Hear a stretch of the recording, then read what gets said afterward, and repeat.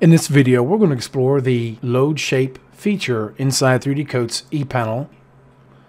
This allows you to bring in vector shapes or have 3D Coat convert grayscale images to splines.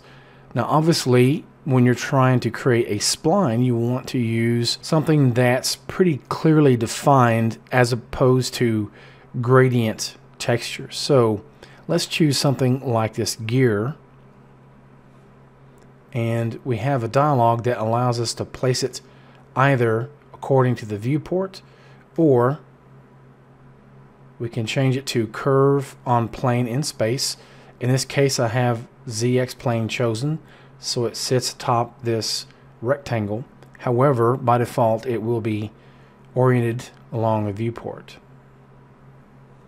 So let's go back to ZX plane and you could also place curve to current pick point but in this case what I did is I just chose curve center in space manually and I changed the value here so that it sits atop this object. So when you're happy with it you can hit OK. Now we have a gizmo to where we can scale it and move it even further if you like. But for now what I want to do is use the plane tool to cut into this individual object. Now when using the plane tool, I want to quickly mention, if you don't see the plane, then the first thing you want to look at is this pick plane scale. If it's at zero, you won't see the plane. So you may want to change that. Now, if you use the bracket keys like you do in Photoshop to increase or decrease your brush size, you'll notice how the plane size will scale with your brush. Now with that stated, let's see just how deep this is going to cut into this object by tilting the object at an angle.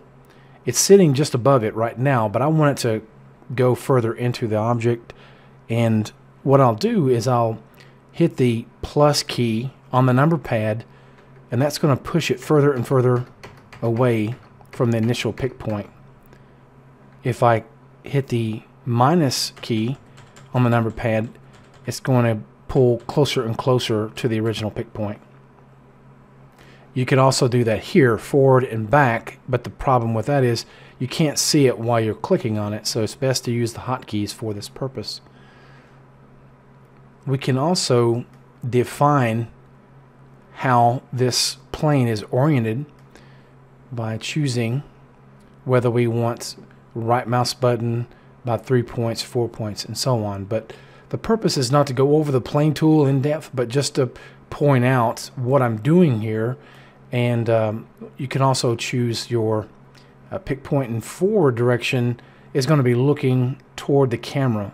That's not what I want in this case. So I want to choose pick point and direction. I'll right click. And again, I'm going to hit the plus key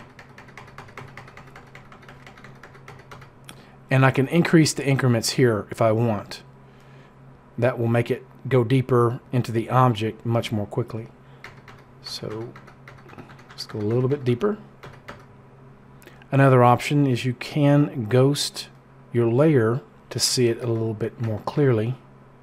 But I think just bringing it to the edge serves the same purpose. So now you may opt to go ahead and save your spline so that you can load it later on if you like. But in this case, what I'm going to do is if I were to go ahead and hit the enter key, it's going to cut based on the screen angle and that's not what I want here. I want to go to an orthographic view, top view, and now I'm going to hit the enter key and I'll hit escape. and come out of orthographic view now. Let me try one other trick here and I'm going to undo. And I'm going to choose Vox Hide rather than Plane.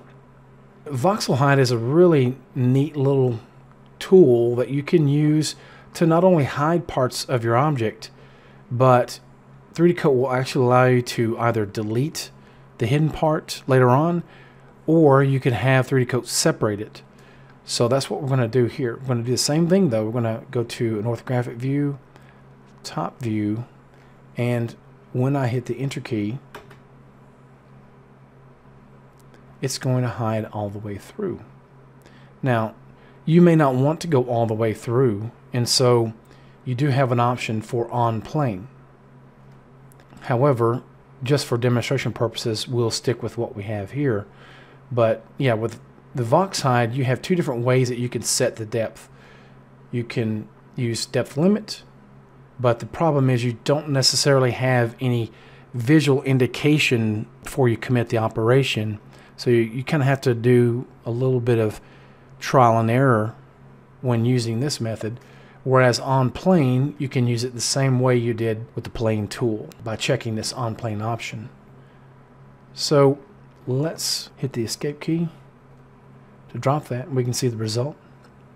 Now, with this hidden like this, we can go to the geometry menu and we can choose objectify hidden.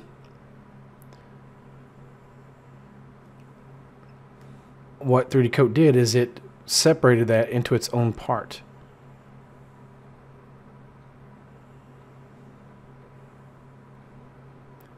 All right, so let's go to this base object here, and I'm going to go to the bottom of the tool panel and click Smooth All a few times. And if I want to create a little bit of separation, I can right-click on the gear and choose Extrude, have a negative value, so I'll hit OK. If I need to extrude a little bit more, do that again and smooth that.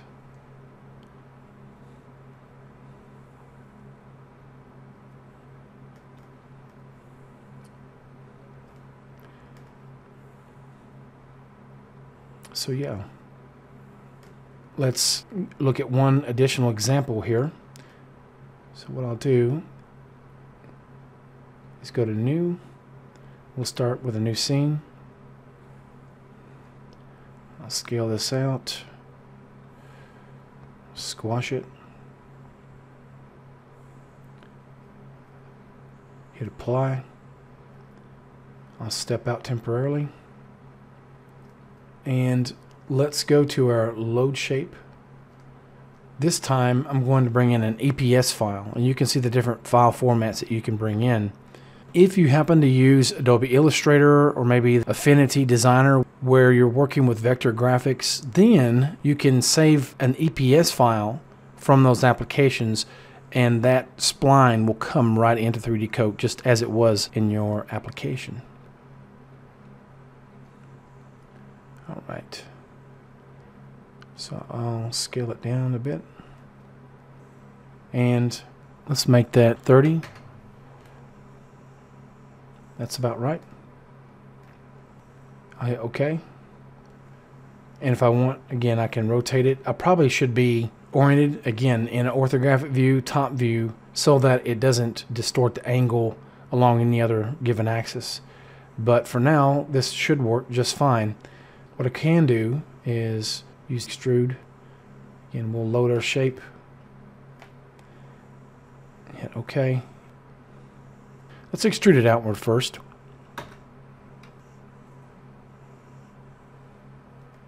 Let me undo and let's change our border width. It's probably a bit too soft. We need to change our fall off value because we want a nice crisp extrusion and I'm going to change my brush alpha as well to a hard edge brush alpha and we can change how it's extruded along the view direction, along the Y, and that's exactly what I'll choose here.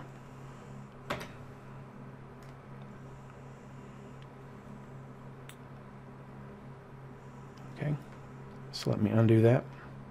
This time I'll invert the tool action, or I could hold down the control key as I hit the enter key. I'll hit escape. Okay, so that's a quick look at using the load shape feature in 3D Coat's ePanel. Thank you for watching. We will see you next time.